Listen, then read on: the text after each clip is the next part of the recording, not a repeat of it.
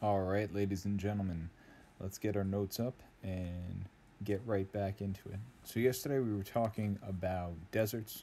We were talking about the fact that deserts are defined by the low precipitation, as opposed to what most people think is well, deserts are really hot, deserts are sandy. Um, and if you recall, we said that Antarctica is the world's largest desert. And that is, in fact, a cold desert. And then we said the Sahara is the world's largest traditional desert. So, sand, hot desert. Um, what we're going to do is today we're going to actually break down the five types of deserts.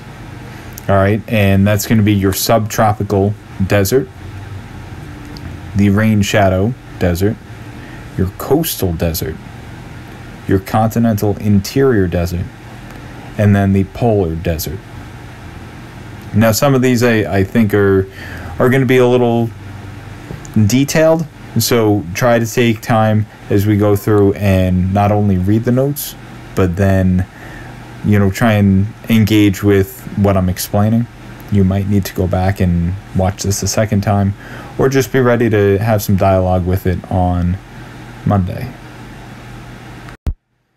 So, the first one up here, we have the subtropical desert. And so, I think the easiest way would actually be to do a little sketching for you. So, we'll come back to this page of notes. Sometimes a picture's worth a thousand words. So, here, the air of the lower atmosphere flows convectively between the equator and a latitude of about 30 degrees.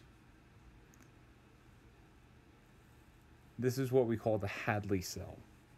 Right there, it's a three cell system. We'll just focus right now on the Hadley cell. So the warm, moist air rises at the equator. It's going to drop its precipitation there. And then as it sinks at around 30 degrees north latitude, that cool, dry air is going to get super warm and super dry. Right? Because remember, sinking air is compressed, and therefore, when you compress things, they warm up. So, most of the Earth's largest deserts, including the Sahara, the Arabian, the Great Indian, Kalahari. These are going to be located at around 30 degrees of latitude. Now, I just realized that the sketching that I told you I was going to do isn't going to be in order, so now you'll see the sketching. I apologize for that. So let's get ourselves the Earth. All right, so over here, you got a nice little circle of the Earth. Right along the middle, we got the equator. Right, equator. Remember that that is going to be your zero degrees of latitude. Now, the equator gets the most amount of sunlight, mostly the highest angle of insolation um, annually is striking at the equator, which makes the equator a really warm area. So when we warm things up, they're going to rise. Warm, moist air rises is the, the phrase we like to use. So you create this area of low pressure, right? Low pressure happening over here. And then that warm, moist air is going to rise. It's going to move either north or south in the upper atmosphere, and then it's going to sink down. Now, when the warm, moist air rises, you're going to have that condensation from the cooling of the air as it expands, which is going to lead to cloud formation and eventually precipitation.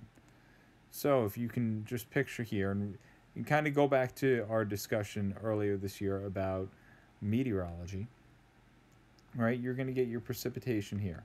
So, lots of precipitation happening, dropping, it's water. Now this dry air that's cool is going to come over and it's going to sink back down to the earth. When the air sinks, there's going to be compression. And compression equals heating.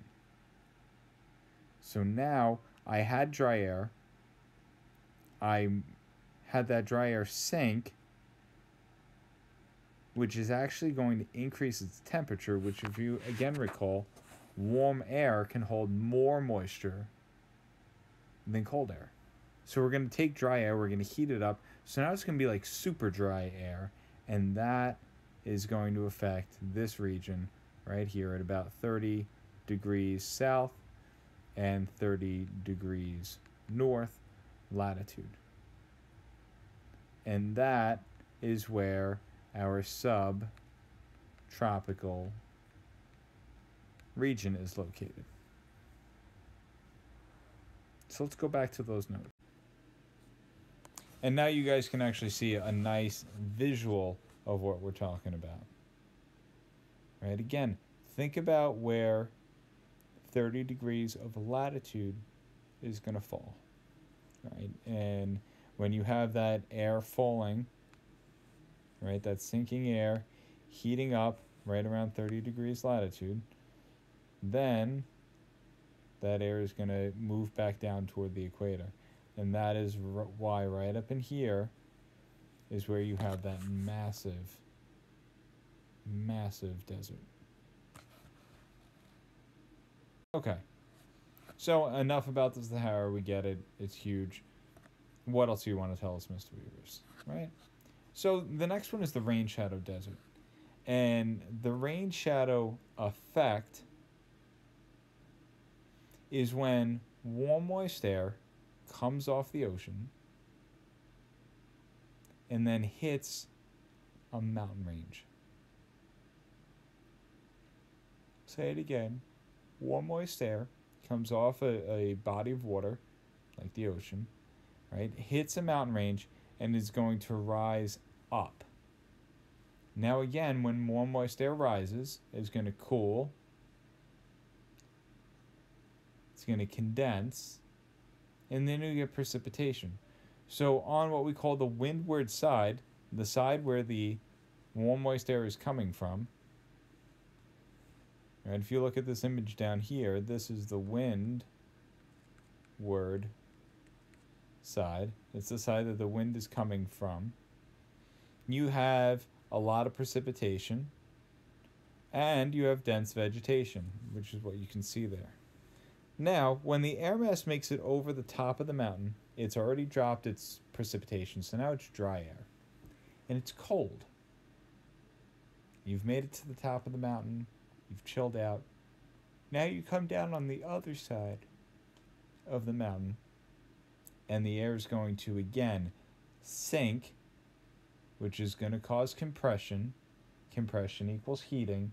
The air becomes hotter but it's already dry. Now it becomes super dry, just like we talked about with the subtropical deserts forming, and that explains why on the leeward side of the mountain range you're going to have a desert.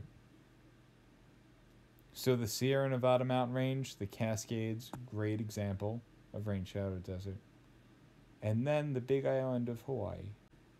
Now, if you want to know a little bit more about the Rain Shadow Desert, there's actually a great YouTube video. Um, the person who put it together actually has like a little Hawaiian shirt, and he he talks about the the Cascades, and he also talks about the the Big Island of Hawaii. So feel free to go check that one out. All right, next we have the coastal desert. So coastal, going to be next to the ocean. Oceans have currents. So the ocean currents bring cold water along the coastline.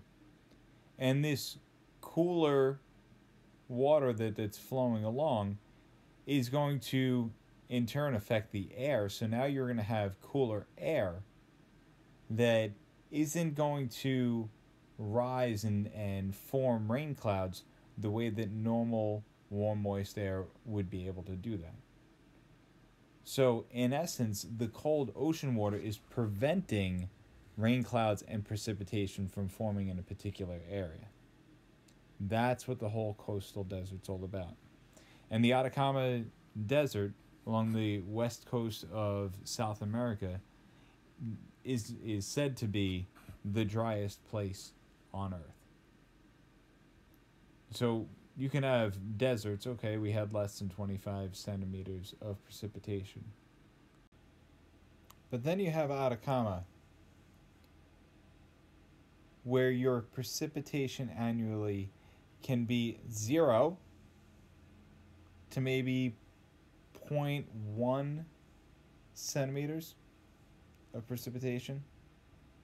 So it really is an incredibly dry place, but all because of the cold water ocean currents that are, are flowing um, near that particular region. So you guys are like, okay, I get it. Maybe I don't. How about again, pictures worth a thousand words? So here you got that cold water ocean current with the blue arrows coming up um, along the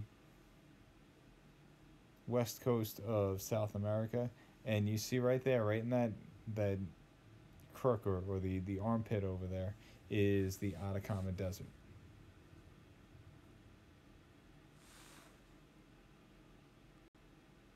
And then that's what it actually looks like. So again, we're going to get into landscapes on Monday as far as um, what different deserts look like, but you guys can see that is a pretty dry location. All right, and next up we have the continental interior desert. Now this one I think is pretty self-explanatory, but picture it this way. You got warm moist water that's coming off the ocean. It's moving across the continent, and as it's doing that, it loses its moisture. And as it as it moves across the, the continent, it is bringing precipitation rain, snow, whatever it might be. And once it's reached kind of the interior region, right, you get a little bit further into the continent, well, you've lost your supply of water and you've already dropped any precipitation that, that you were holding. Now you're just a dry air mass that's moving across.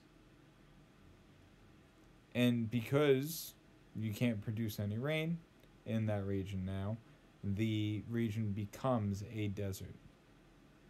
So basically, just on the location in the middle region of a continent, you end up with an arid environment, low precipitation. You end up with a desert. And Gobi Desert in Asia, great example. Great example. And then the last one that we got here is a polar desert. And polar desert, kind of self explanatory, right? We're going to be very cold because we're in the polar region. We're up, up at the poles. So this is where Antarctica is going to play in, right? So very cold, dense air above the polar region holds very little moisture. Again, if we can't make clouds, if we don't have enough moisture for precipitation, well, then you're not going to get high precipitation. And your region is going to be described then as arid or as a desert. So it's the, the, the low precipitation factor. And it really comes back to the air temperature being so cold, it really can't hold a lot of moisture to begin with. All right, so let's just recap. Deserts receive an average of less than 25 centimeters of rain each year. Remember, that's less than 325 centimeters of snow when we're talking about the cold deserts. And therefore, it's going to be sparse on vegetation, right? Less than 15% of the region having vegetation. And then deserts develop in various settings. So we talked about the subtropical desert, the rain shadow, the coastal, the continental interior, and the polar region. All right. So that's what I wanted to get through for today. If you haven't done so already, make sure that you've turned in your vocabulary. And I hope you guys have a fantastic three day weekend. I look forward to seeing you guys on Monday. Take care.